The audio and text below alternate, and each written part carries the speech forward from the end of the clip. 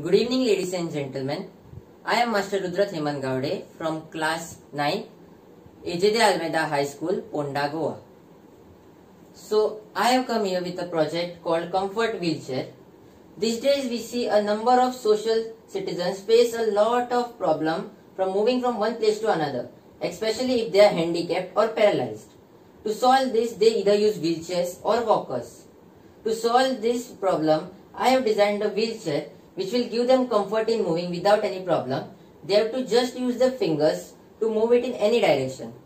Some of the components of this project are Arduino Uno, Adafruit motor shield, a HC05 Bluetooth module and 18650 Li-ion batteries. So, uh, as we all know, Arduino is based on easy to use hardware and software. Arduino boards were able to read inputs, light on a sensor, a figure on a button or a Twitter message and turn it on an output, activating a motor, turning an LED. Its biggest advantage it is, easy to use structure.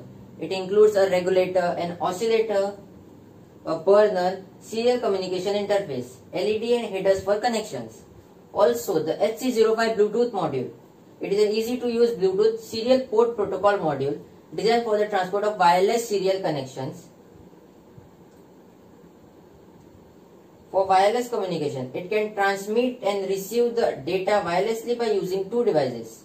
Even the motor shield, it allows you to easily control motor direction and speed using an Arduino by allowing you to simply address Arduino. Even for this, if they have any problem in their hands, they can use it on the helmet which can be fitted with this all circuit and just by moving their head they can change it and move it in any direction. It also moves in all 360 direction and it can climb up to a climb a ramp up to a 45 degrees. Also, it has a strong power backup and even if there is any problem with their if they can't move it using their hands or even their head using that helmet they can also use it by moving they can also move it by using a mobile. Means they have to only install one mobile application and just connect it to the bluetooth and with the help of someone they can always move it in all directions. Even if they have any problem there also they can also do it while using uh, even their fingers. Not only hand but also can be used by moving the fingers. And also we have one more thing. The battery it has a strong power backup and this is the way how I have designed my project. Even I can show some connections for them. The HC05 Bluetooth module connected to the ground pin and 5 volt pin and all the motors have been connected to the ground pins of M1, M1, M2, M3 and M4 points.